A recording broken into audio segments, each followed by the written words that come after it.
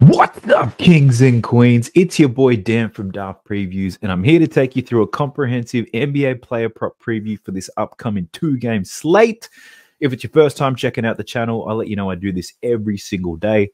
I preview all the key players, talk about their matchups, form lines, I give you some insights, I tell you what I like, and I tell you what I don't. And I'm hoping to give you all the information that you need to make the best bets possible.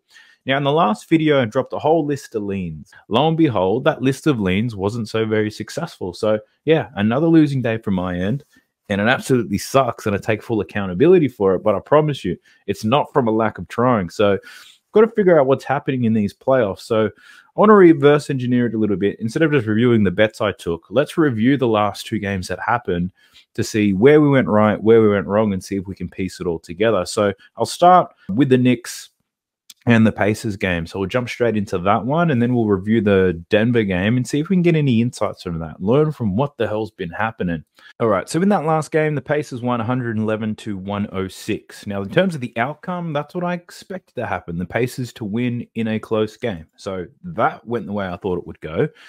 Now, going through the box score, firstly looking at these New York Knicks players, we had Josh Hart, 10 points, 4 assists, and 18 rebounds.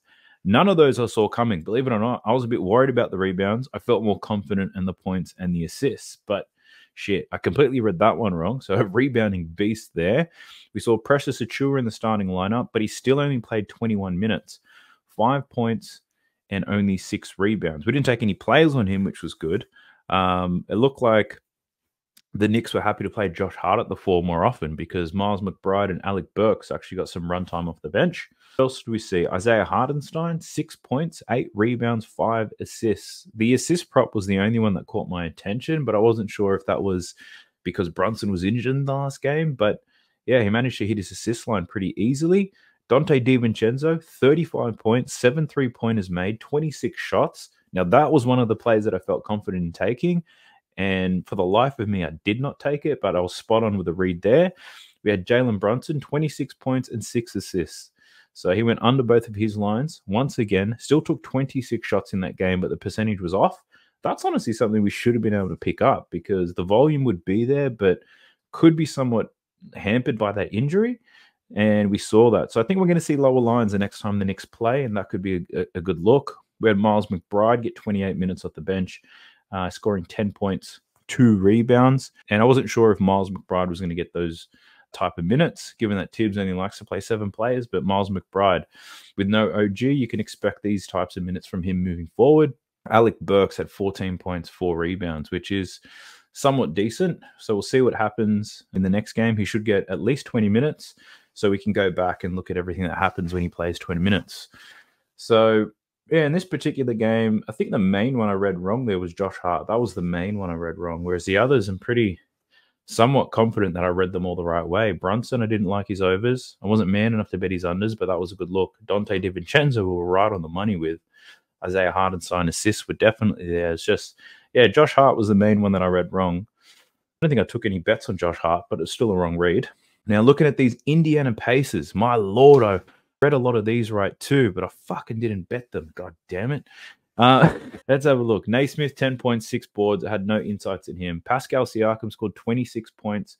I expected a big improvement from him to the free throw line, 14 shots, made his only three pointer with seven boards. So the points for Pascal Siakam was a good read. Miles Turner i predicted a bounce back as well. He scored 21 points, 10 boards. But again, I managed to talk myself out of that. But that was a good look. Uh, Nembhard, uh, I think we're only really liking his assists, I believe. I think three and a half assists. Let me check this out real quick. Leans, where's my Nembhard? I think it was three and a half assists for Nembhard was the main thing. And he had hit that in like nine consecutive games. And he had six assists in this game. Tyrese Halliburton's got 35.7 assists. So I said the volume was great in the last game. And again, I talked myself out of it somehow, but he took 26 shots in this one. So that could have been a great cash. It was a good read. I didn't like his assist prop, but the points one I thought was a good look. Um, and then the bench guys. I think this is why I didn't bet a lot of the. this is why I didn't bet Miles Turner, Siakam, and Tyrese Halliburton because I think the numbers must have swayed me. Ben Sheppard bet on his points. He shot one from five and he didn't cash. TJ McConnell bet on his points plus assists, but everybody bet on his points plus assists. So that one was probably too obvious to read, and it and it blew our faces. He, he got the minutes, he got the shot attempts, just didn't happen to deliver. And we fell into the Obi Toppin bait. He only scored two points. We took his over 10 and a half, which was a gut buster. Um, and again, a very popular play. He'd been hitting for so long and it just didn't happen. So far out. Talked myself out of the good ones, took the shit bets. And why did I take the shit bets? Because they had been hitting more consistently. So this hitting consistently thing has got to go. It's the playoffs. So when we review the props today, we'll probably try to avoid the hitting consistency type of bullshit because it doesn't seem to be working. We're looking to the Denver Nuggets versus Minnesota Timberwolves game, and the Nuggets blew them out. I did not see that. I saw the Nuggets playing a lot better, but not this much better. Uh, 27 point win, which is wild uh, on the road. But let's talk through these Denver Nuggets. So we had Michael Porter Jr. had 21 points, four rebounds. I did expect a bounce back for Michael Porter Jr., but I was worried about his volume. The volume did not get there, but the shot percentage was great 60% from the field, 80% from deep at Aaron Gordon, he only had two rebounds, and I was looking at the under five and a half rebounds. I was saying it. I said it's loud and clear, and I managed to talk myself out of it. Jokic, we expect, or I expected a much better game from him, which he did. He didn't cover his points line though, but 24 points, 14 boards, nine assists. So uh, we read an improvement, but we still would have been wrong if we took that bet. CP, I chose not to look at him at all, but he got 12 points. He covered his line with ease. I think it was seven and a half his line. And then we had Jamal Murray. Now, unders was the most obvious bet looking at the data, but I told y'all that the Jamal Murray overs, I got a feeling, and he finally delivered 11 from 21, 52% from the field. He scored 24 points. But the other lean I had of Jamal Murray was under five and a half assists. And then for some reason, I just didn't take it. So, and again, I can't explain that. Um, but yeah, for the most, a lot of the ones in Denver, uh, we had a pretty good read on. And then as we head to Minnesota, I read this one completely wrong. Well, I didn't expect them to lose by 27, but we had Jaden McDaniel score 10 points. I didn't think he could do that. Karl-Anthony Towns, very efficient from the field, but he only took seven shot attempts in this game. 18 points, five boards. That was trash. Rudy did nothing on his return. Anthony Edwards scored 19 points in 37 minutes, but he only took 15 shots. I took this play because in the previous game, he only took 17 shots. I expected a bit more from him. He took less shots. He didn't get to the free throw line at all. Uh, six boards, five assists. He had five turnovers. So a minus 32, the worst on the floor with KAT. We had Mike Conley. We bet his rebounds prop. That cash with ease. He scored 10 points, six rebounds, six assists. So would have got close to his PRA. And then we took Naz Reid. And again, the Naz Reid thing was more so like he's been a beast so far. Will he continue to do it? I said they don't have an answer for him, but hey, maybe they do. He only scored seven points, only had one rebound off the bench, two from seven from the field. So, yeah, disappointing night for me as a better. I had a lot of good reads. It just for some reason managed to talk myself out of the good ones. So I'm just trying to summarize the reasons why. Talk myself out of the good ones because there were other players who were more consistent. So this consistent bullshit has got to go. Consistency means nothing in the playoffs, and I keep falling for it time and time again. But now, even if players are consistently hitting this number, I'm not putting it on my leans list. I think what's killing me at the moment is I take all these leans and there's just so many there. And then when I'm trying to filter out the ones I like and don't like, the ones that are more consistent seem like the safer option for me. So we're not going to do that shit anymore. Let's get into this preview and see what we come up with. There's going to be some real shit. You ready for that? That sounds interesting. Let's go. All right, we're looking at the OKC versus Dallas Mavericks game, and you can see it on my screen. This game starts at 5 a.m. my time, so I'm spewing. I'm not even going to get to watch this one. I might catch the end of it, but let's talk through it, shall we? So Dallas got the win. It's 1 1. I'm not going to open the box score. Let's just go raw. Let's go through all these players. Let's start with OKC first. They are on the road. We'll start with SGA because my man's been a beast. Now, we're not going to take any bets just because they have been doing it. We need something something different. I guess for these star players, maybe we could. I don't know. I might be able to talk myself into it. But let's start with SGA's points first. His line is at 29 and a half. 29 in game one, 33 in game two. He's covered this line in three of his last 10. And against the Mavericks, he's covered in five out of his last nine. So last two games, 37 and 42 minutes. Field goal attempts, 19 and 24 in that second game. From downtown. He's made a couple of free threes, and he only made six free throws in that last game. But because he shot more, made more, he ended up covering his line anyway. So this is not a player who's hit consistently. What we have seen is Dallas came back to stun them. The main challenge that they have is defending SGA. So it makes perfect sense for me to look at the lean to the over here for SGA, purely on OKC need him to be great. Um, you kind of lost home court advantage by dropping one game. So SGA, in my opinion, he needs to be big in this one. And points wise, he can get his shot off whenever he wants. Watching, I watched that whole game, that last one, and there is no one that they can put on him to slow him down. Uh, shot percentage pretty decent. It's just all about volume. Now Dallas, will they double him? Potentially not. I would lean to the over in this one, but the only reason I'm leaning to the over, it's got nothing to do with the data, is I think the volume will still be there. He should take at least 20 shots in this game. On the road, this is what this is what typically happens. On the road, role players tend to take a step back, and your star players like SGA should pick it up. So yeah, I don't love this enough to to bet it, but that's definitely the way that I'm leaning. The over. Uh, let's have a look at his assist prop though. Six and a half. He's covered this in both games. Nine and eight assists in the two games, 13 and 14 potential assists. So he needs to get seven assists for this to cash. Uh, this is a plus money play too. So he's cash in both of those. Now, I would normally say, yeah, if he's getting nine and eight assists, the 12, 13 and 14 potential assists, why not look at the over? But if I'm going to reverse engineer the way that I've been looking at things, the under might be the way to go here. So if we look at historical form, he's cashed this in four of nine games. Outside of the two games they've already played in the playoffs, he only cashed in two out of seven games against the Dallas Mavericks. Uh, looking at his last 10, he's cashed this line in only three of his last 10. So if you remove the two games where he has cashed, he's only cashed in one of his last eight.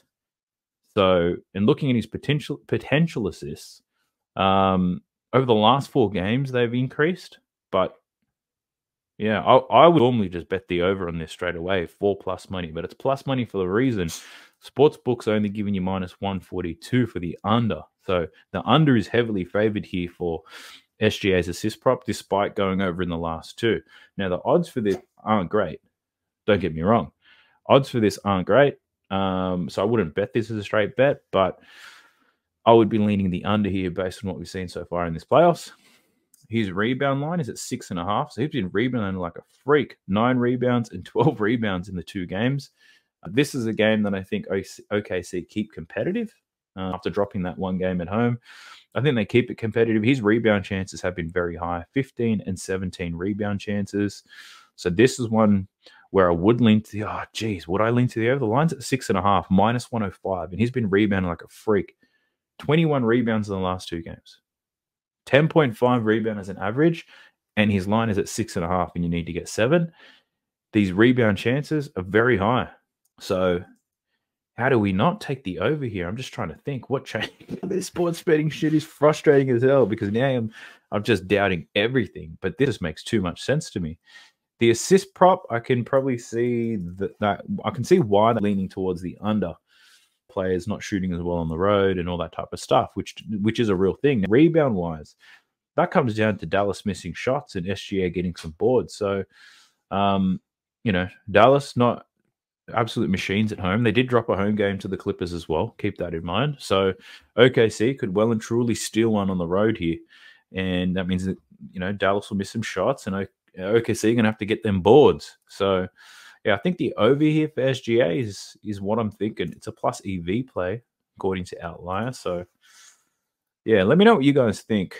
I strongly encourage you guys to get involved with the chat and the comment section because I'm obviously not crushing it out here, and I'd love to hear your opinions on the matter.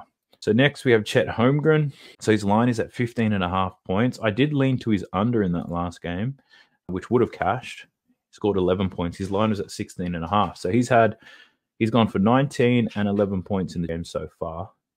This is looking at the under. So let me switch to the over real quick. So he's gone over this line in three of his last 10 games, which is not great. And against Dallas, he's only gone over this line in one of his last six. In that last game, he played 37 minutes, took 12 shots, shot 33% from the field, uh, one from six from deep, so he couldn't get hit in there. I want to have a quick look at the injuries to see is Gafford on this list. No. So Gafford's not on game time decision, so he looks right to go. Whatever he did to his finger, don't worry about it. So uh, Chet probably going to see very similar defense than what he has seen throughout uh, this series. What I want to do is I want to break down his last 10, check out his numbers home on the season versus away. So this season, this is an average. On the road, 16.02. So he does drop about one one point on the road by the looks of it.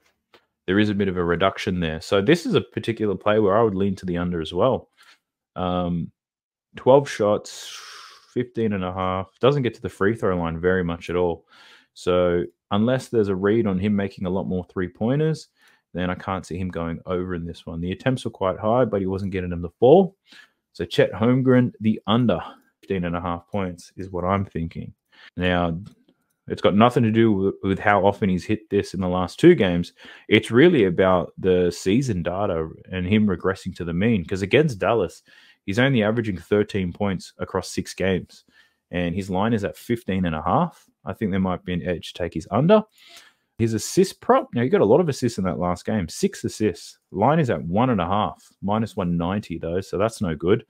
Uh, he had six potential assists and managed to convert them all which is outlandish. I don't think that happens again.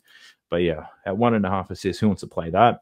We then look at his rebounds line, eight and a half boards. So he's covered this in three of six games against Dallas. So far in this series, seven and six. He had 22 potential rebound chances in that last game and only finish on six. With that number of rebound chances, you would honestly be expecting at least 10 to 12 boards here from Chet. So I'm thinking to fade this and look at the over. That's what I'd be leaning right now. I know the rebound chances really high in the second game, not high in the first game. But if we're looking to reverse engineer this shit, then yeah, why I can't check at nine boards? He's done it before against Dallas. Three out of the four regular season games, he cashed this rebound line. Um, they're going to have to be dogs at home. I mean, on the road to steal this victory. Um, if we look at his recent form, he's only hit this in one of his last five games, too. It's averaging 16.6 rebound chances in those games. But I think one thing that maybe makes this difficult is we've seen massive rebound games from Shai Gilgeous-Alexander. So if I don't, if I like SGA's rebound line, I probably don't like Chet's because I don't think they can both cover it in the, in the same game. So yeah, probably lean to the over, but I'm not going to take that down. The, S, the SGA one makes the most sense to me. Hang on, hang on, hang on, hang on, hang on. The SGA one makes the most sense to me, which means common sense we've got to throw out the window fucking reverse engineer this shit. Let's take Chet's rebounds. Like SGA has smashed his rebound line in the last two games. Chet has not in the last two games. Chet's rebound line is still much higher than SGA's. Do we just fade all common sense thinking here and bet Chet's over in his rebounds? Is that what we're doing now? Is that what we're about? I think I'm going to do it. We'll see. I've got his rebounds down as a lean. Uh, let's get to J Dub, Jalen Williams, see what's cooking with him. All right, so his points line 19 and a half. He's cashed this in four out of his last 10 games. So far in this series, 18 and 20 points. So the line is pretty much in the middle of that, 19 and a half. Um, in head to head matchups, he's cashed in three out of his last nine with Dallas. Last two games, 36, 38 minutes. Field goal attempts, 15 and 17. Only shooting 40 and 41% from the field. So his percentage is not great. In the past, looking at the road games in Dallas. Has had one good game in Dallas before, so let's not read too much into that. Three pointers. He's actually shooting decently from downtown, 40% and 50% in the two games. Free throws, taken a couple of free throws as well, but I think it's his stuff at the rim which making it difficult, and even those middies doesn't seem to have those falling. So, yeah, I've got no lean to the over or the under for Jalen Williams. So let's jump into the next one. Assists lines at four and a half. So he's had five and four assists in the two games this series, four out of his last nine games against Dallas. Potential assists, eight and nine potential assists in the two games so far. So eight and a half as an average. If we need to get five assists, I'd like to see more potential assists than that. So I'd probably lean to the under, but not too much confidence, right? He's getting very close to that line. So yeah, I'm not willing to dance with that. Rebounds, four and a half is the line. Fuck me dead, this guy. Just He's so consistently close to this all the time on all three props. Five rebounds in game one, four rebounds in game two. He had 10 rebound chances in that second game and only finished with the four boards. He's covered this rebound line in two out of his last nine games against Dallas. So his average against Dallas is only 3.3. So if you factor that in, you can probably lean to the under. But in the past, he's played a lot less minutes. So in the games where he's played at least 35 minutes, there's four games here and he's gotten four plus rebounds in all of them, and he's got five plus in two. So I think that line is just about right, to be honest. I'm not dancing with that. So Jalen Williams, I've got no looks on you, my friend. Uh, who else we got? We got to look at Aaron Wiggins. Now, this is one of the guys that's just been banging off the bench. Let's check out his points prop. He's been making it happen. I'm getting Obi Toppin vibes right here. So Aaron Wiggins, his points line is at six and a half. He's cashed this in both games this series 16 points in game one, nine points in game two. If we look at the series against the Pelicans, he went under in all four games. But I think his line was lower than six and a half. So he was actually covering his actual points line very well throughout this playoffs. Lines moved up a little bit, so he's yet he's, he's not there. Might get tw- uh, 20 minutes in this game. Not overly aroused by this, to be honest. Could have a big game, but yeah, I'm not really feeling the Aaron Wiggins play. Who else do we have in this thing? We've got Lu Dort. No one bets on Lu Dort, do they? Let's have a look at Josh Giddey. So, Josh Giddey. His points line is six and a half. In the two games, two points and eight points. There was tremendous value on fading Josh Giddey the start of this series, but check out his minutes 17 minutes in game one, 11 minutes in game two um, four in field goal attempts, zero from two from three. So, yeah, I think the value is gone taking the under. Six and a half. It could be really dependent on minutes, but you don't know how many minutes he's going to get 10, 15, or 20. It's not a great matchup for him, so that might keep him off the floor. But these lines are, are very, very low. So his assist line is at two and a half. Two assists in game one, assists in game two and then his rebound line three and a half. So his rebound line was five and a half in that that last game, um, only finishing with two boards. And I know that because I had a strong lean on it, but that's moved down to three and a half. So all the value on Josh Giddey unders are gone. So Josh Giddey getting less minutes, who's getting more? Um, we saw this Jaylin Williams. Now I had a lean for him to hit three pointers in this game, and he hit one in the first quarter, I believe. But looking at his points prop, four and a half. Look at this 11 and 8 points in the first two games. He's been very productive off the bench. He's covered this in seven of his last 10. He's hit this in three straight games against Dallas, four out of his last six against Dallas. So his minutes aren't very high at all. Um, but if he's take, he took seven and then six shots in those last two games, made a three, one three pointer in game one, two three in game two. Now they are on the road. These young boys can struggle on the road, but Man, for four and a half points for this guy. Surely, right? Seven out of his last 10. He's only hit on 47% of the season. What was his minutes at? Let me check this. 16 and 14 minutes. So if we just say 10 between 10 and 17 minutes, let's filter that shit out for the season. 10 between 10 and 17. He's played 42 games, between 10 and 17 minutes, and he's covered this line at a 48% hit rate. Head to head, he's played that many minutes against Dallas in five games, and he's covered this four out of the five games, including the last two. So I don't want to overreact to that. Seven and six on the road for the first time. Yeah, I don't have a good feeling about it. And again, I'm not going to bet it just because it's hit in the last two games, right? We ain't doing that shit no more. I've had enough of it. Fucking Obi Toppin. East Bay Duncan motherfucker. Obi Toppin. God. All right, let's jump into Dallas. Let's see what the hell's cooking over here. We got Luka Doncic. So a player that's been hitting every single time is Luka over in the first quarter, Kyrie under in the first quarter. I bet the Kyrie under in the first quarter last time in a cash, but let's have a look at Luka's. seven and a half. Nine out of his last 10 games, he's cashed this on, averaging 11.5 points per game in head to head matches. He's covered this in six consecutive games against OKC. I think it's with total total points is where we tend to see the biggest shift from game to game. These first quarter ones just be banging so well. Checking the odds on my sports book to see whether this is worth taking. So the seven and a half's at a dollar seventy six. Kyrie's under. It's not five and a half anymore. It's moved to four and a half on my book, but I get pretty good odds for it. I think I might just run the Luka Kyrie parlay. To be honest, it's just working so well. Kyrie under four and a half. Luka over seven and a half. Why not? Let's dance. All right, let's look at Luka's points. 30 and a half. That line keeps dropping. So Luka, First two games against OKC, 19 and then 29 points. That knee be mucking around with him. We know that, right? 40.8, 41.2, 19 and 21 shots attempted. Did hit in 52% of his shots in that last game, but a lot of that damage was done in the first quarter. Looking at his three pointers, he was five from eight from deep in that last game, one from eight in that first game. Only got to the free throw line for two attempts in that last one. So not ultra aggressive getting to the line there for Luka.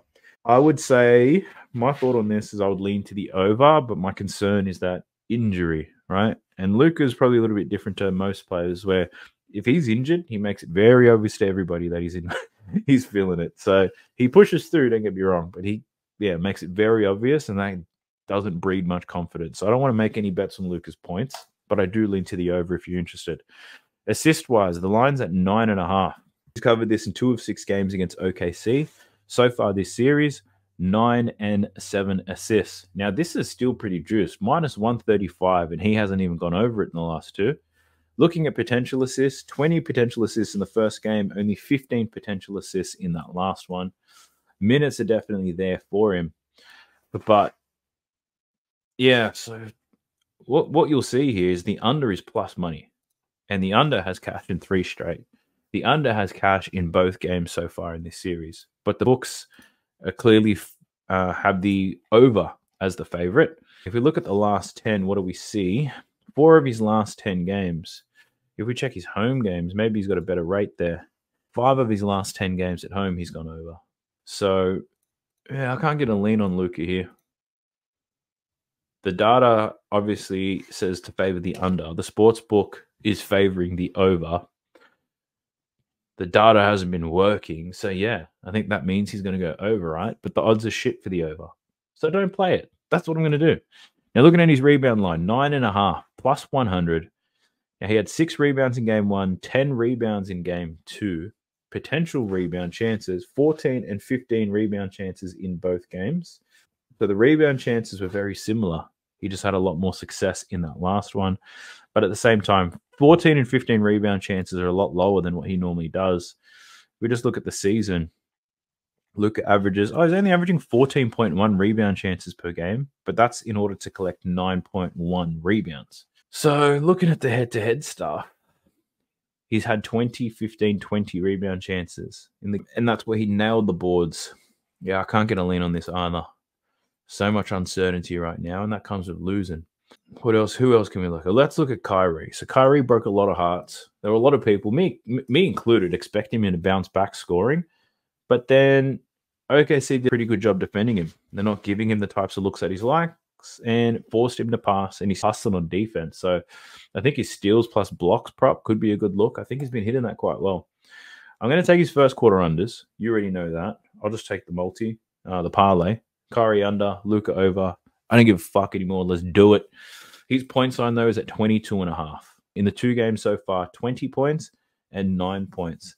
Despite that, line still set at 22 and a half because historically we know that Kyrie can get it popping. You know what I mean? In the two games he played OKC in the regular season, 25 and 36 points for Kyrie against OKC. So more than capable. If we look at his field goal attempts, only 14 attempts in game one, only eight attempts in game two. He was two from eight uh, three pointers. He didn't sink a three pointer in that last game, zero from two. He made five of six free throws, and a lot of his points really. They, in the tech fouls, Kyrie's your man. He's the one stepping up. So if the if Dallas had lost game two, if Dallas had lost game two and Kyrie had this num this start line where he took eight shots and he only scored nine points, then yeah, I'd be backing the over for sure the next game. One. Dallas won that game and Kyrie didn't have to score that much. I'm just thinking about what types of adjustments does OKC make? PJ Washington, and under could be a good look for him, just because I know he is, but he is also quite streaky. But let's just talk about Kyrie real quick. Points. I can't get with it. I can't get with it. Now, assist though, assist, assist, assist. Now he's covered his assist line in three or four games against OKC. Three assists in game one, then 11 assists in game two. In that game, he had 20 potential assists, which is wild. So the question is, how is Kyrie going to get in this next one? Because that's going to indicate whether he gets it.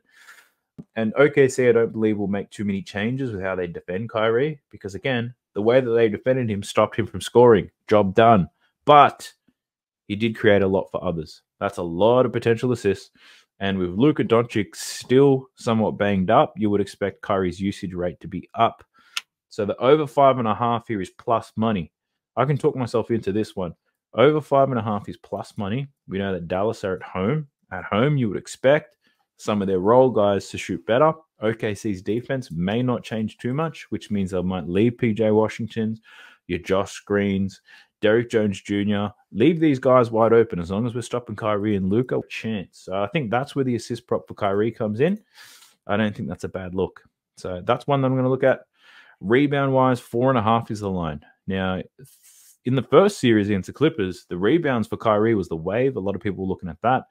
So far against OKC, hasn't got it happening. One and three rebounds, five and nine rebound chances. So they haven't been very high in head to head matchups. He's cashed in only one of four games. And again, the rebound chances aren't very high 7.8 rebounds, and he needs to get five boards. The data, the data tells me to look at the under, but it looks like the books are split plus 102 for the over, minus 105. So the under is favored, but only slightly. So the under makes the most sense. But because it makes sense, I'm just not going to touch it because shit be wilding right now. All right. So Kyrie assists is probably what I'm going to look at. It's not because of that last. it kind of is because of that last game, but not because he got 11. It's how he got the 11 that I'm more focused on. Uh, who else do we have here? Where's D Gaff? Daniel Gafford. So look, given I'm going to assume here that his finger is still somewhat fucked up. I'm not going to take a bet here because he was struggling to hold that ball. But his line's at 11 and a half. His cash is in three straight. 16 in game one, 13 in game two. Um, 27 minutes in both games. Shot attempts 12 in game one, six in game two. That second game, he did get to the free throw line a lot. Only shot 56% from the field, though. So, Daniel Gafford to score this many points. Do we think he can do it again? Well, let's just have a look at games where he plays at least 25 minutes on the regular season. Because, well, look, head to head, yeah, he's had a bit of success against OKC, but he is trending down. In games where Daniel Gafford plays at least 25 minutes, because that's what he's getting so far in this playoff series, on the season, he's actually covered this line in 21 of 38 games. So the hit rate honestly isn't too bad. But for me, I am thinking if I'm not going to bet this play, could be a popular player on the board, but I think his fingers all fucked up. I, I would honestly lean to the under for Daniel Gafford, despite the amazing hit rate against OKC. Trending down so far in this playoffs, and he should be sitting around 10 points per game. So the 11 and a half, I would lean to the under. I'm not going to bet it because I'm pussy. Or am I? Maybe I will bet it. under 11 and a half points for Daniel Gafford. He's gone over it in four straight games against OKC. The line hasn't moved too much. It's gone up by, I think, one point. It was 10 and a half in the last game. It's moved up to 11 and a half. Am I crazy? I might be. But surely they can't leave this guy to dunk all over him again. Maybe I am crazy. I'm looking at the under. Fuck the over. I don't care how often you've hit this line. I'm not taking it. Uh, rebounds, seven and a half boards is the line. He's cashed this in one of 10 games against, uh, in his last 10, sorry. In head to head matchups, he's cashed this in three out of his last four. So the very last game was the first time he went under this rebound line of seven and a half, finishing with seven. Um, so he's been very good. And this is a play, if you look at his points and rebounds, I think that's a play that everybody might be looking at. But uh, 19 and a half is the line now. He barely covered that that last game. It was an absolute sweat and a half. Um, does look he look he does play better at home as well, which is the scary thing. He could be an absolute beast. Let me just double check the season stuff. So on the season, he's averaging 18.06 points plus re actually. Let's just look at the last 20 games because he was traded mid-season. Over his last 20 games, he's averaging 15.7 points plus rebounds. Games at home, 18.2 points and rebounds. So definitely sees an uplift at home. Shit. I'm just not going to bet it. But I want you all to know I am leaning the under on his points and rebounds. That's where I think he goes, just because the over seems too obvious, right? I'd normally look at the over because all the numbers look so good, but those numbers are ass. So let's lean to the under. I don't think I'm, I'm not going to bet it, but that's definitely where I'm leaning. So I'm going to track these leans that I land on. We'll reassess.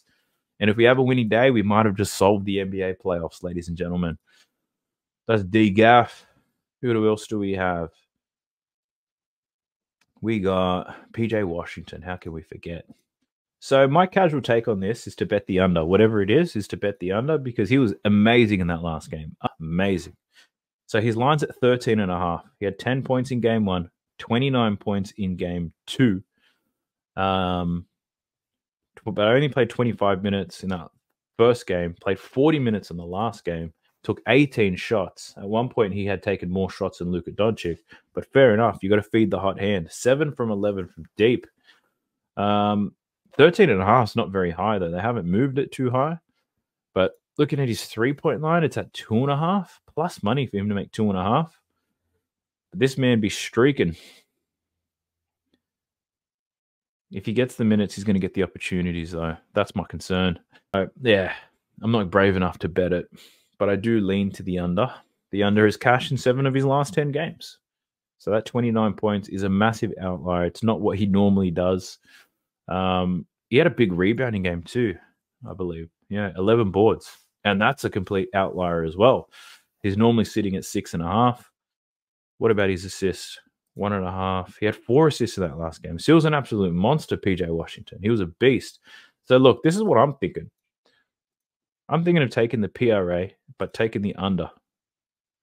So, the under has cash in 59% of games of this season. It's cash in eight out of his last 10 and he's coming off an absolute monster of a game 29 points, 11 boards, and four assists, minus 102 for the under.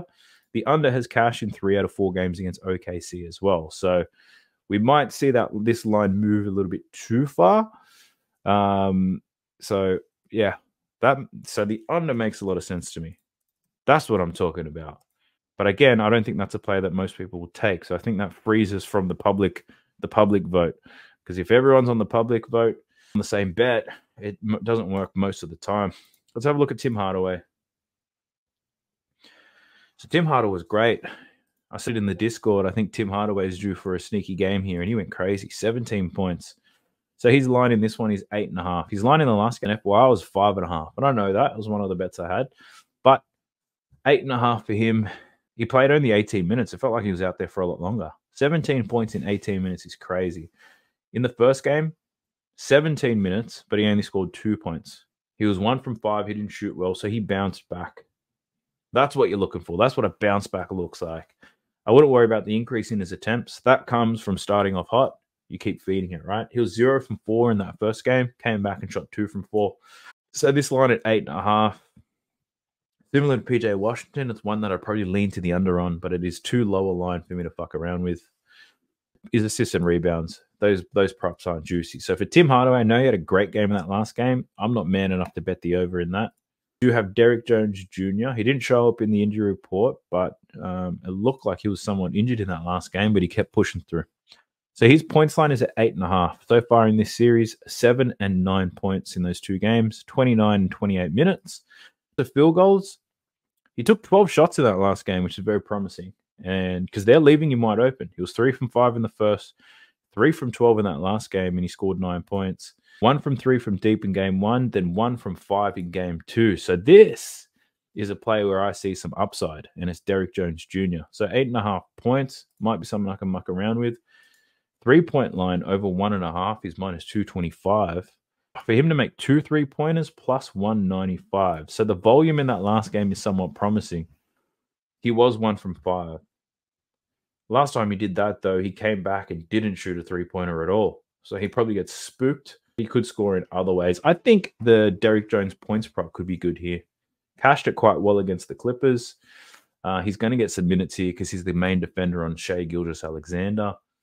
if they do run, I remember uh, I forgot who it was, but I remember someone saying that Dallas need to play faster on offense, so OKC can't set up their defense. And if they do run transition, Derrick Jones Jr. is the guy that's going to benefit the most from them. So that makes a lot of sense to me. It's not one of those guys that hits it on a consistent basis, so we take it. So seven and nine in the first two games. The first game he didn't shoot much at all. The second game he shot a lot more, which is promising, and he didn't shoot well. So line set at eight and a half. If we can get a similar type of volume, even if we see a regression in his volume, if we see him shooting back at 50% where he normally is, this is definitely a line that he can cover. So I think that's a good one. Look at his rebounds. So I had a lean for his rebounds to go under, and he went over. And I think someone put that in the comment section as well. And that's because he just, the, I think the reason was because he goes up and down, up and down. So does that mean that this is an underplay? Seven potential rebounds in that last game. Yeah, it probably could be, but that's not a reason for me to take the bet for Derrick Jones Jr. And just checking to see if there's anybody else. I think someone who's been quiet who could have one good game in this series is Dereck Lively. So Dereck Lively, though, he is struggling against Chet. So they're both rangy centers with not much strength, but his line's at five and a half. He's only scored two points in both games. That last game, he had 20 minutes. Oh, he's been shooting terrible. One from three in game one, and then one out of seven in game two. So missing some bunnies. And this is a guy that only shoots near the rim. So that could be an interesting one. If he's getting seven shot attempts, thank you, outlier. He's exceeded five and a half points in six straight games at home. Let's filter out the home stuff real quick with D Live. Yes, he has six straight games at home. He's cashed his points line. So Dereck Lively, that could be something juicy. And it really bucks the trend, right? Normally if you see some well not me but normally for some people it's like ah can't score against okc lines at five and a half let's take the under. Now the over is at minus 140 though so i don't love that for dereck lively. I don't love it at all. But let me check to see what what odds i'm getting on my little book here. D love. And there's no market for him so i can't even bet that anyway. But let's take that as a lean. The over could be a good look his rebound line at five and a half. He had four rebounds in both games, nine and seven rebound chances. If you get to those types of rebound chances, he can't go over the six. So, but again, I lean to the over points and rebounds for D Live. 11 and a half is what we're looking at in this game. He's only averaging six so far in this series. It doesn't make sense to me, but I swear I think this is going to happen. I don't have the market available in my sportsbook at the moment, but I'm going to put that down as a lean just so I can track it. Because if we're on the money, then we could still have a profitable future here. Uh, let's jump into the next game, shall we? Jump on the brakes real quick. I got another announcement or just something I really want to say to you, the person who is listening to this. These playoffs have been rough as hell. Now, I don't want to abandon it altogether because this shit is fun for me. I can't wait to figure out how to make this happen, but it has been difficult. What that means is I want to do a bit more research not into player props, but really how people are getting it done. Now, from a lot of the people that I watch on YouTube, what I follow on Twitter, Discord groups, whatever, it feels like we're all struggling out there. Now, I know one person who is doing quite well in these playoffs.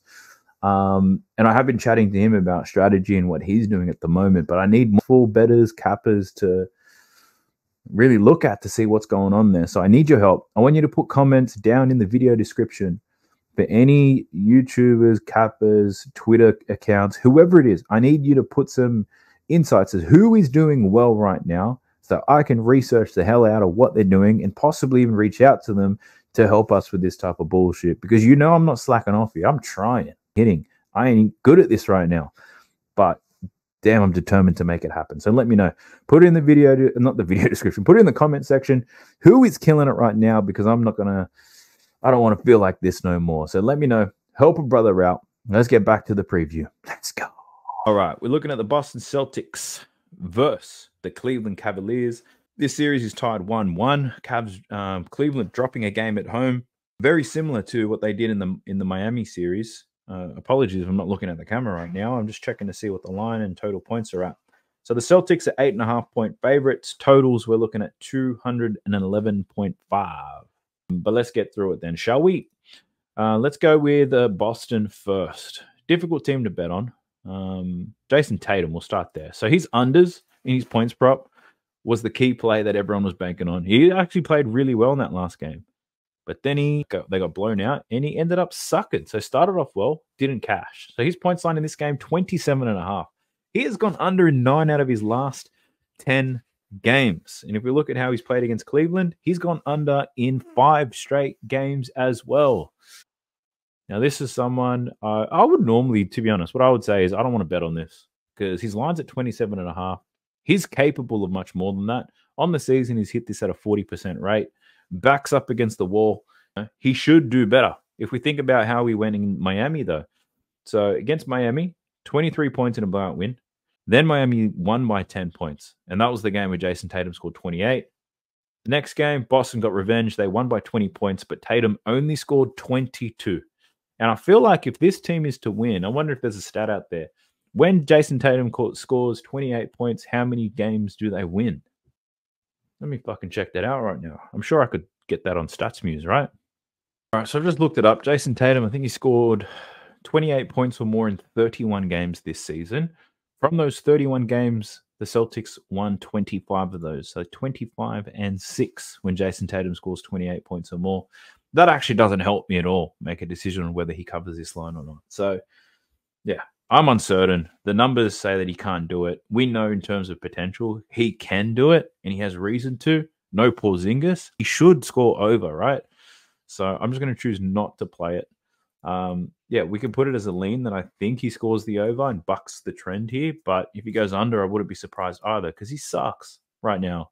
Two percentage is just poor. That's all it is. He's just not making enough shots. Taking a lot, but not making them. So I'm going to pass on that. His assist prop, five and a half for Tatum, had six in the last game, five in the first game. Head to head against Cleveland, he's cashed this in three out of his last eight looking at the potentials here, potential assists aren't very high. Still managed to get six in that last one. You're getting plus money for it here, but the under is the favorite for this, minus 142. So I'm not willing to bet that or against it. His rebound line is back up at nine and a half.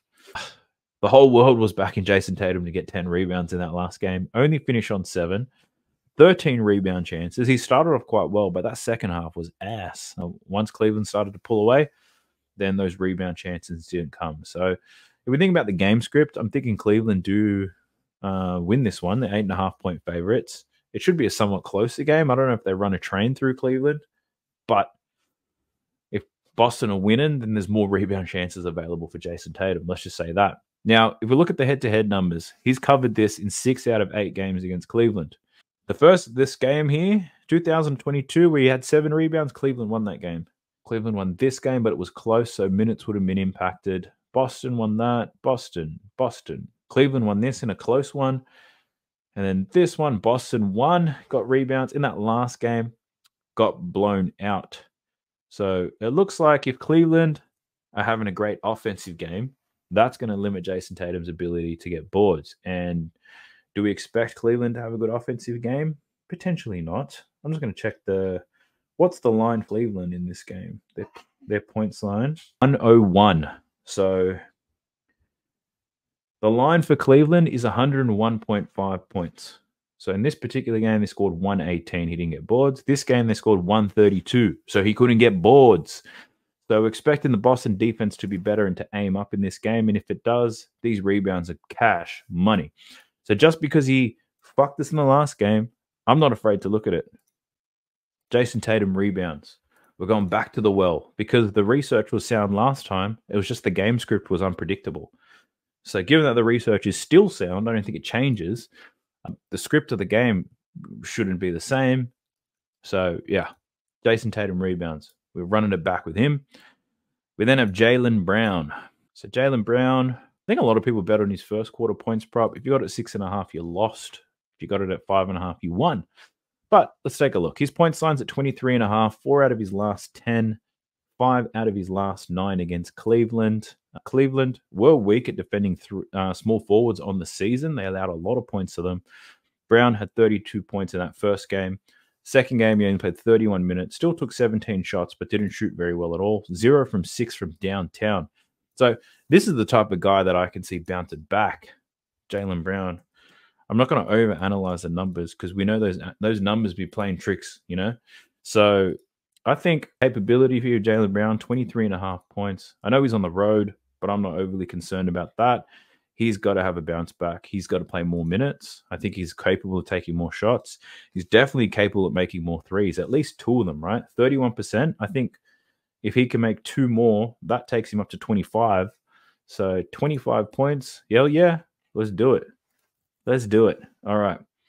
Rebounds for Jaylen Brown, the line. He's gone under in two straight games, or actually five straight games against Cleveland. But in this series, six and four, 10 and eight rebound chances. Under is definitely the favorite, and so it should be. So I feel like this line is sharp. It's where it needs to be. So I'd lean to the under, but at minus 130, not a great play. But if you're on fantasy apps, go for your life. Assists, two and a half assists. He had been covering this extremely well against Cleveland. Last two hasn't made it happen. Seven and five potential assists. Tough to get assists when your teammates can't shoot to save their lives. But this is one where I probably lean to the over. We need three assists in a game where you need three assists for Jaylen Brown. You'd really be looking at six to seven potential assists, and he's averaging six potential assists in the first two games so far. So, yeah, on the assist side of things, I'd lean to the over on that. Points and assists could be a play here. 26 and a half. So that's actually three more by adding them together. No, no, no, no. We ain't doing that. So the points I like the over, the assists I like the, the unders the most likely play by the looks of it. Six and a half, yeah.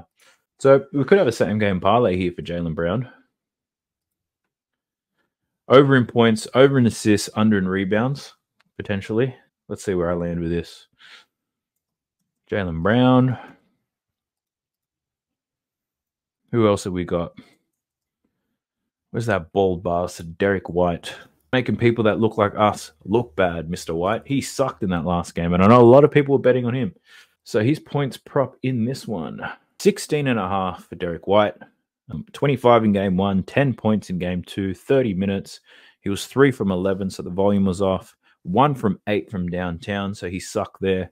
So the bounce back could be a factor here for Derrick White, but he's not one of their primary options.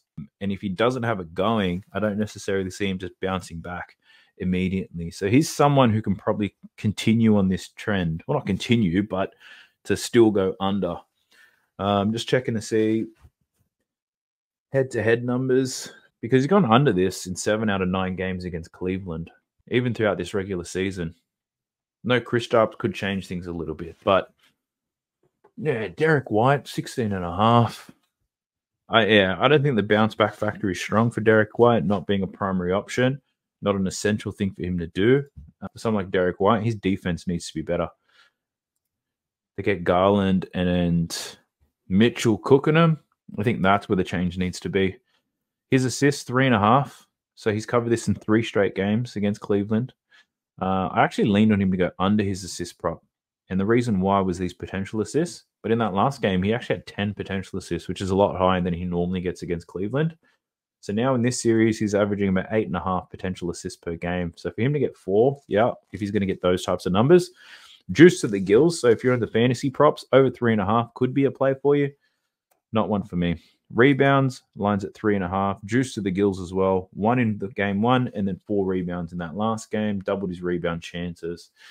But yeah, these odds, not liking Derrick White for any bets whatsoever. We also have Jrue Holiday. So what's Jrue Holiday been doing?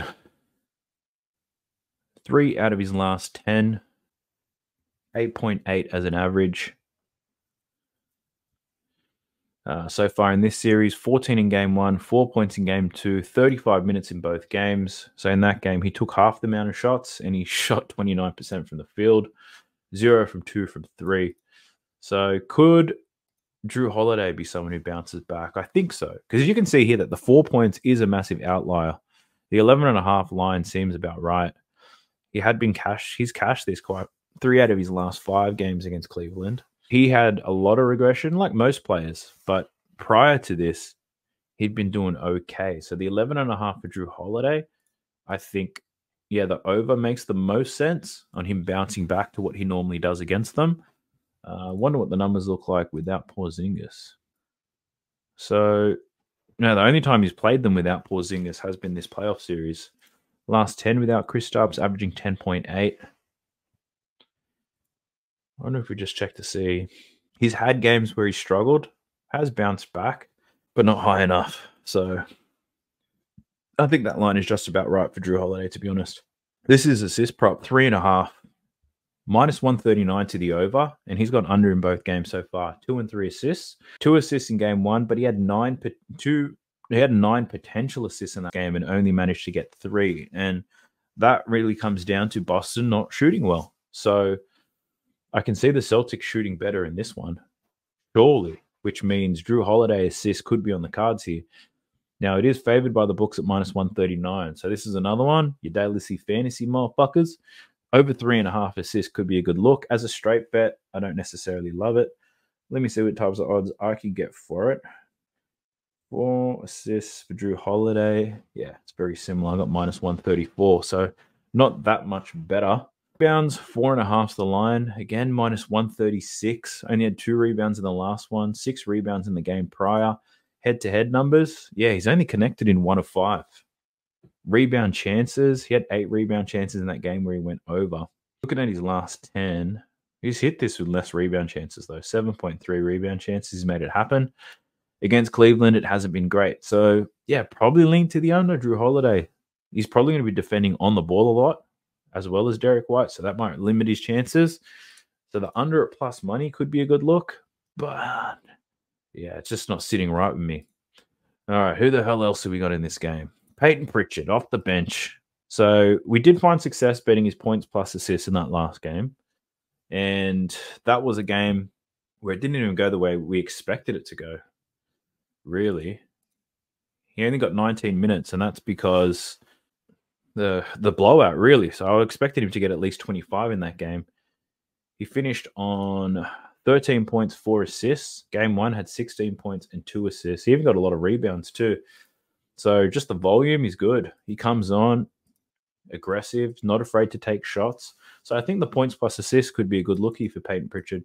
Worked for us last time. He's not a garbage time only type of guy. He's solidified in that rotation. So Payton Pritchard, he should still get the 20 to 25 minutes. He should still take a lot of shots, get some assists as well. And the Celtics are expected to be better. And if the Celtics are going to be better, someone like Payton Pritchard has to cash. So um, I think that's one that we can continue the ride and not expect a dramatic fall off. Just checking his numbers against Cleveland in the past, he got much less minutes. So yeah, in this new part of the rotation where he's getting the minutes, I think his points plus assists could still be a good option. Now, one thing I wanted to look at was Luke Kornet rebound. So this was one of the really popular players um, that everyone was getting around in that last game. So I don't have a line for just his rebounds though. Rebounds plus assists could be a good look. But I think his rebound line, if his rebound line's at four and a half, I think the over for his rebounds could be a good look. So I don't available for me at the moment, but just because it it didn't land for us last time. I'm telling you, all these bets that lose, if you back it again, there's a lot of there might be a good chance for a bounce back here, is all I'm saying. Who else have we got? Old Al Horford.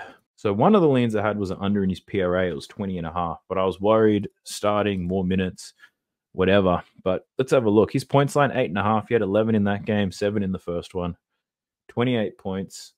He came out shooting really well, four from nine, made three three pointers head to head matchups against Cleveland. Had some success in the past, but he is a different man now. Rebound wise, I think he sucked in that last game. Yep, two boards, eight rebounds in the first one. So if we look at the PRA, if it's at 20 and a half, we could look at the under. Mm, it's at 19 and a half. So it's come down a little bit. So 19 in the first game, 14 in the second. He's expected to bounce back and be a little bit better, but can he get 20 PRA is the question. If we look at his last 10, he clearly hasn't, hasn't. If we look at his last 20, he's cashed in six of his last 20 games, but last 10. Uh, so he's gone under this every game of the playoffs. Minutes without Porzingis, which are these last few games, haven't necessarily been huge. So if he gets about 28 to 30 minutes, I think he probably still goes to the under, to be honest. That makes the most sense to me. The under in his PRA. It's plus money. Let's buck around and find out, shall we? because I did think he could go under in that last game. All right, let's take a look at these Cleveland Cavaliers. Now we've got Donovan Mitchell at home. So his points line in the last game is 29 and a half. It is still at 29 and a half. So in this series, 33 and 29 points. That last game, he started off so slow. A lot of this damage was done in the second half. He still only finished the game with 19 shot attempts. I think there's room for him to improve. He's not afraid to take 20 to 25 shots. He did shoot five from seven, though, so very efficient game. And if we look at his free throws, he got to the line four times. So if we just look at Orlando as a good baseline, his home games against Orlando 30, 23, 28, and then 39 points. So I think at home, definitely steps it up a little bit. This is his games against Boston, five out of his last eight games. If we go home games only, 25 and 40 points. So I think the line honestly is pretty sharp at 29 and a half. Oh, I would even say it's a little bit high, but I still think the over could be the look here for Donovan Mitchell. I think one player I can look at though is his points prop, seven and a half. So I took that in the last game and he and it didn't come off for me. He only finished with two. But I'm all over the over here. I had a good read on that last time. Evan Mobley went crazy, which nobody saw coming. Caris LeVert was great off the first quarter. So I think D Mitch is going to go back to being that man. You can see here if he's look if we look at his last 20, 20 games, he had a shit period here. Where's the playoff start though? Last 10. So the playoff started here against Orlando. Hasn't put to hasn't put back to back poor first quarters in the playoffs. Ride that trend. Now, if we look at his assist prop, five and a half is the line. He had eight assists in that. Five in the first game, eight in the second. Potential assists, not super high, but his men were stroking and Evan Mobley was shooting quite well. I don't really like the assist prop here for D Mitch, five and a half. The hit rate is not excellent, and it's not like he's necessarily bouncing back. You'd be expecting something consistent to occur. And what do you need for that to happen? You probably need Evan Mobley to have a great game. You need Isaac Okoro to get some fast break layups, Caris LeVert. So, and I think that's what's required in order for Donovan Mitchell to cash his assist line. Looking at his rebounds, though, five and a half. He has cashed this in both games, six and seven boards. 11 rebound chances in that last one, 13 in the first game. So the rebounds could be good look here for Donovan Mitchell, but five and a half, I don't think I could entertain that. He hit this at a 41% rate on the season. Head to head against Boston, he has covered this in five straight games, though. That's what I'm talking about. Consistency. Now, the thing with consistency is that fucking fools you into betting on it. So I'm not saying to bet the under. I'm just not sure if I can take this because it keeps happening like some other ones. What was his rebound numbers against Orlando at home? Two, eight, six, and then nine. So it does get better at home, believe it or not. It does in the playoffs. So his last three games at home in the playoffs, he's gone over this rebound line. Regular season, not too much. Head to head, home games, one from two. So a lot of these games were on the road and he rebounded well. He actually didn't play in the home games against Boston this season, believe it or not. They were all road games that Donovan Mitchell played on. Yeah, so I think rebounds could be a good look here for Donovan Mitchell. That makes a lot of sense to me. Okay. Okay. That's on the list. Who else we got? Darius Garland. Now I had his unders in assists as a as a really strong lean in that last one, and I, I talked myself out of it. I didn't take it. So his points prop at 15 and a half. He's in both games against Boston. Prior to that, though, he was a beast against Boston. Got it done in six consecutive games. Then the playoffs happened and he scored 14 points in both of them. His minutes in the playoffs are actually down on his normal minutes against Boston. Field goal attempts are down. Three pointers made. He had a pretty strong shooting night in the last game, but he didn't take that many shots and he doesn't get to the free throw line very well. So, yeah, I've, I think it's going to be close, but yeah, I can see why he's trending down because the volume is not there. Assists, five and a half. So he's gone under in both games against Boston. Potential assists seem to be dropping 10 and 8 potential assists. Donovan Mitchell is just doing more and more and more. So I feel like the same is going to happen. Five and a half, minus 105. The under is minus 115. So this play is yeah somewhat juiced, isn't it? Um, but yeah, I would lean to the under in this, not because of just what's happened in the last two. Potential assists are down. Donovan Mitchell's potential assist numbers are up. Darius Garland is really playing off the ball a lot, so he's not necessarily creating. I can see it in the games that he's looking to score more. And he's now, it's happened throughout this whole playoffs. Look at his potential assists 9.3 in his last 10 games. He's averaging 5.1 assists in his last 10. So the trend there is definitely towards the under. regardless if it's against Orlando or against Boston. But that's purely because of the way the Cavs are playing. Mitchell doing a lot of heavy lifting right now. So I might continue to back the under there for Darius Garland. I just got to make sure I'm not a bitch. Don't be a bitch and take the bet. Stop talking yourself out of stuff. Come on. Now, Evan Mobley. Shit. One thing I didn't check is Jarrett Allen playing this game? Is a game time decision. Game time decision. But from all accounts, he's still fried. Points for Evan Mobley 15 and a half. He's cashed this in both games against Boston 17 and 21. Uh, I was very close to taking his over in that last game. I said it that he is a Kmart version of Bam Adebayo. Kmart is like Walmart for the. And Bam Adebayo had a great series against Boston, especially with Kristaps Porzingis. A little bit vulnerable to bigs. Evan Mobley was great in that last game. Has cashed it in both. So my concern now is the Celtics. They'll be very well aware of Evan Mobley's threat down low, and they might switch things up to slow him down. But they didn't do that with Bam. They kind of let him do what he does. So Evan Mobley over 15 and a half might be something I can entertain. But now the concern is Jarrett Allen. If Jarrett Allen's going to play, I don't like this line too much. So he's had a bit of success in the past. He took 15 shots in the last game, which is pretty good. 12 shots in the game prior. Did make a three pointer as well. Doesn't get to the free throw line very much. So this makes a lot of sense to take the over. But the Jarrett Allen thing, that probably worries me the most. But his assist could be a good look. Two and a half. He has cashed this very well. Three and five assists in the two games so far. Hmm. But that's not why we bet these things, right? Just because they've happened in the past doesn't mean it will keep happening. Now, this is why I wouldn't bet it. The potential assists four and six potential assists, which means averaging five potential assists per game, and you need to make three of them. Yeah, it's probably just about right. This line, they are the Cavs are at home. Celtics are expected to be better. I get that. I think the line is just about right. And minus 130, I'm not overly excited to play that. His rebound line has gone up. It was at 10 and a half in the last game. He only finished on 10. Now it is at 11 and a half in this game. Now keep this in mind. The Boston Celtics were terrible at shooting that ball in that last game.